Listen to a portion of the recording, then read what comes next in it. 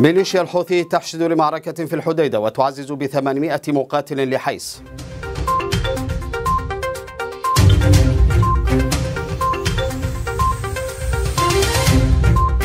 ميليشيات الحوثي تفرض قيودا للسفر إلى مأرب.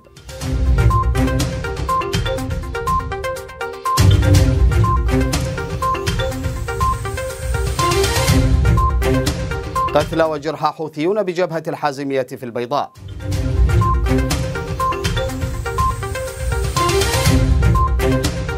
القوات الموالية لهادي تقتحم مرتفعات الجبل الأبيض بعتق.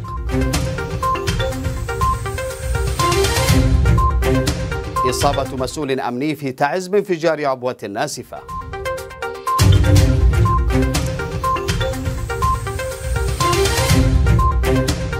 مقتل 14 قياديا حوثيا في معارك مع القوات الحكومية. رسو سفينة مجهولة في شواطئ أحور.